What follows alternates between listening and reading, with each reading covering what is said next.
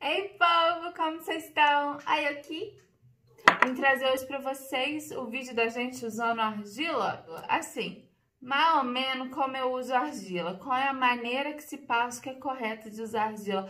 Vamos falar assim pra gente falar a verdade? Porque normalmente, como eu uso, quando uso argila, eu faço uma mistureba dela com os componentes, assim, normais mas, assim, eu coloco óleo de girassol mais própolis para poder fazer minha mistureba de argila. Mas hoje eu trouxe para vocês como é a maneira normal de se usar argila. E a gente vai estar tá vendo o resultado de antes e depois. Porque, assim, a argila que eu tô trazendo para vocês é aquela, né, que é a bichinha potente. A argila mais potente que existe, mais ressecante. E, assim, a pessoa que vos fala, que tem a, a pele seca, usa argila que não desvia. Mas mesmo assim, assim, a gente usando num tempo mais curto, usando um pouquinho, sabendo qual é o momento de tirar, não tem, assim, grandes problemas não. E logo depois a gente dá uma hidratada boa nessa pele, que é o necessário, né não? E hoje eu vou mostrar pra vocês como eu vou estar tá fazendo isso e eu trouxe a minha bonita, minha potente, a minha bebê, a Bentonita, para mostrar para vocês hoje, assim, te apresento ela, pessoas da internet, Bentonita, Bentonita, pessoas da internet. Então, estamos aqui hoje para poder estar tá usando ela. Ela é muito boa, assim, sinceramente falando, é uma argila muito boa. Eu gosto muito de estar tá usando ela, mas ela é forte. Como eu falei, eu uso menos tempo por essa razão. Eu não espero ela secar totalmente, né, assim. Didático falando assim da maneira correta, não é bom você esperar nenhuma argila secar totalmente na sua pele, porque a partir do momento que ela seca, ela só não, tá tirando só a nhaca, não tá tirando só as impurezas, as sujeiras e o óleo da sua pele. Ela também vai estar tá tirando os nutrientes. Então, assim, de qualquer forma, quando você usar argila, não espera ela secar totalmente. Você, quando sentir sua pele começar a puxar e começar a ficar desconfortável, vai lá e tira sua argila, que esse vai ser o momento correto para fazer isso.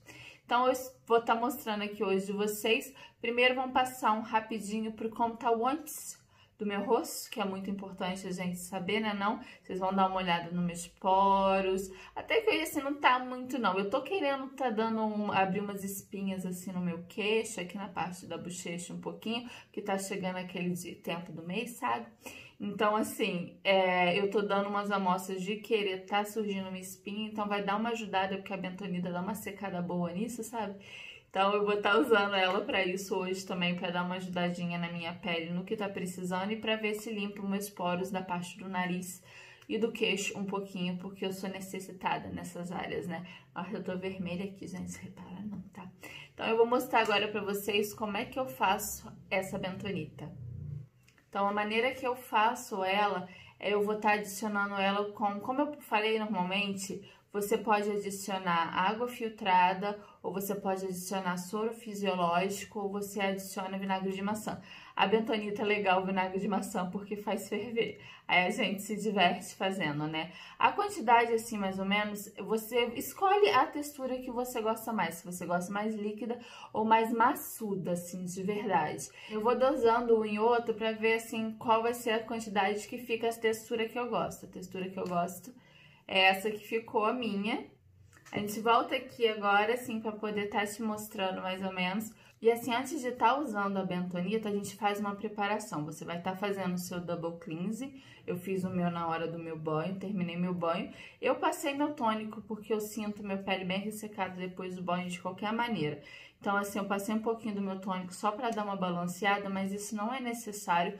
Não quando você tá fazendo a máscara de argila. Normalmente, eu entro com ela depois do tônico, depois de tudo. De vez em quando eu faço até uma sheet mask depois, que é o que eu vou fazer hoje. By the way, eu vou usar uma da que eu comprei. Então, assim, logo depois eu até uso outras máscaras, mas eu uso tônico depois de estar tá fazendo argila.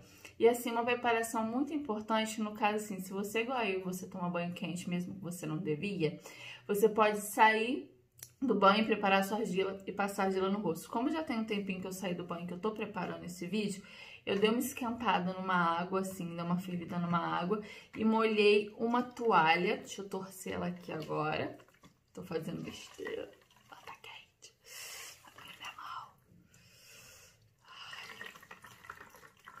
Você pega uma toalha, assim, quente, com água quente, vai molhar essa toalha, toalha da minha avó, e você vai pressionar na, nas áreas onde você vai estar tá colocando a argila. Porque isso aqui vai estar tá abrindo seus poros, que é muito importante estar com poros bem abertos para poder a argila penetrar bem na tua pele. Se possível, você vai ficar por volta de 30 segundos a um minuto com ela no rosto. Depois desse tempo, a gente vai estar tá pegando a nossa argila para poder usar. Aqui minha argila, vou pegar um pincel e agora vou estar tá passando. Você não precisa estar tá fazendo uma camada lá muito grossa. Uma bem fininha vai estar tá fazendo o serviço.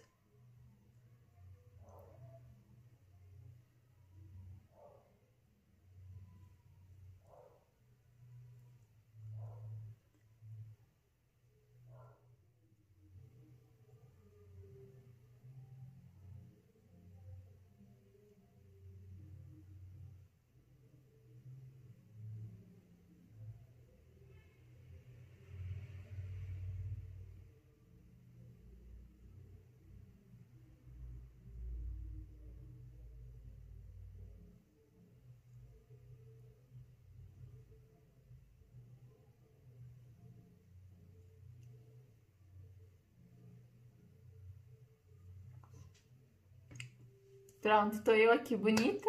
E agora eu vou estar tá esperando por volta de uns 5 minutinhos. E eu volto a mostrar como é que a minha pele tá no momento que eu vou lavar a minha argila. Fechou?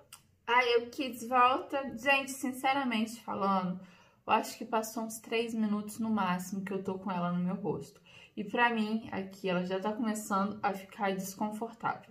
Então, se você tem a pele seca como eu, é agora que você vai tirar. Se sua pele é mais oleosa e você precisa de uma limpeza mais profunda, assim, espera assim mais uns, uns 3, 4 minutinhos. Quando ela realmente começar a secar essa parte que tiver um tico maior, você vai lá e retira ela. E eu tô indo lá retirar a minha, então vocês esperem aí que eu já volto com a cara limpa, falou?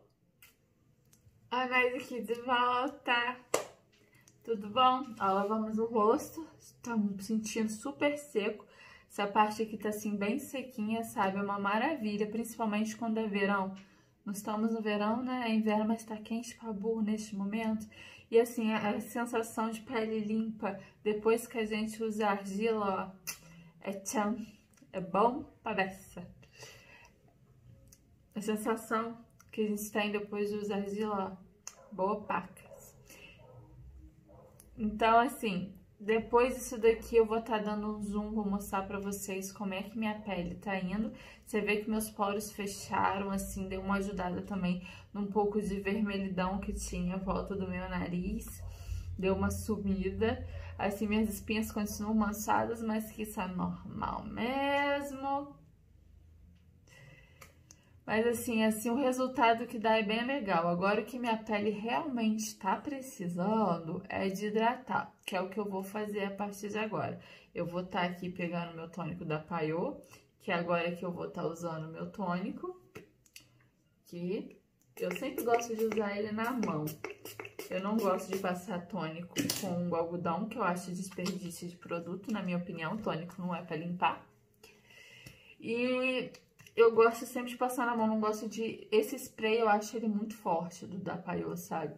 Ele é desconfortável para poder jogar em, em direção ao rosto. Então, eu prefiro jogar na mão e passar no rosto e assim dar as batidinhas. Assim, a sensação bem melhor que eu tô sentindo agora. Minha pele tá um pouco mais hidratada, já tem um pouco mais de água que não tinha antes. E a partir daqui eu vou fazer o resto da minha rotina, assim. Como eu falei, quando eu faço a argila, eu gosto de fazer uma hidratação mais pesada, mais legal logo depois. Hoje, hoje por coincidência, eu vou estar tá fazendo também a minha, a minha esfoliação química logo aqui depois, mas eu vou, antes de até mesmo de fazer a esfoliação química, eu vou botar uma X Mask para poder dar uma nutrida nessa pele que ela tá precisada depois dessa sessão de choque. E eu fico por aqui, eu espero que vocês tenham gostado, assim é bem simples.